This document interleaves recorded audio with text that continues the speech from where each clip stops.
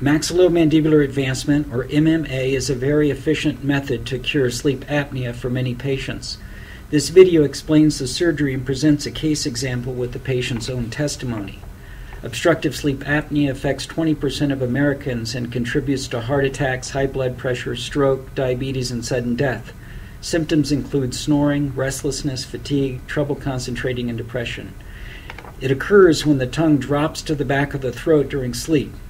This blockage increases negative inspiratory pressure in the lungs, causing the heart to work harder. It causes lower oxygen levels in the blood. During sleep, partial arousal occurs at a subconscious level to overcome the blockage. CPAP, or continuous positive airway pressure, overcomes the obstructions, but not all patients are willing or able to wear the mask. Although there are several surgeries to help with sleep apnea, only maxillary mandibular advancement makes room for the tongue and increases the airway volume to cure sleep apnea. It gives the patients a real chance at a better life.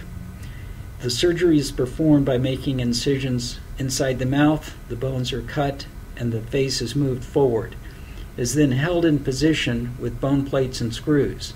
The profile change is a show of what is going on at the bone level this also reflects what is going on at a soft tissue level for the patient. Once the advancement is complete, the patient generally is able to feel the openness of the airway uh, very soon after surgery. This effect then can help with the patient's breathing, establishing the ideal airway. Kurt is a patient who has trouble with sleep apnea. He's a very active, handsome man, and it's not obvious that he has a level of facial deficiency occurring.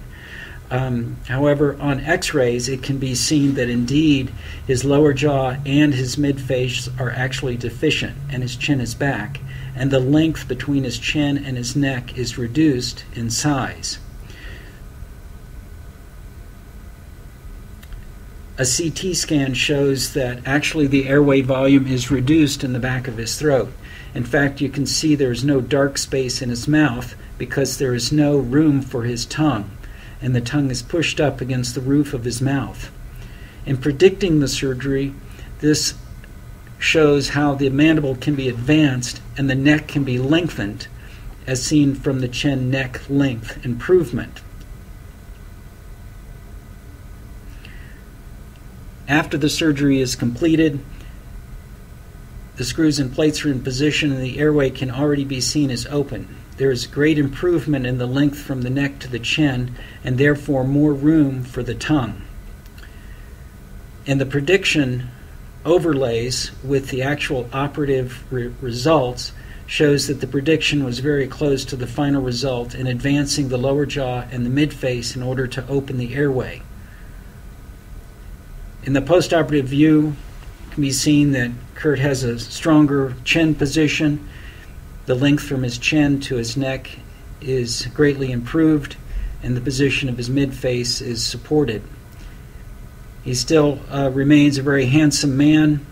Uh, he does not have to hold his head back in order to open his airway.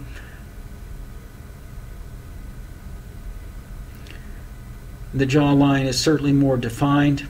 Even from the frontal view, it can be seen the shadow is increased under the jaw and the chin proportions are improved.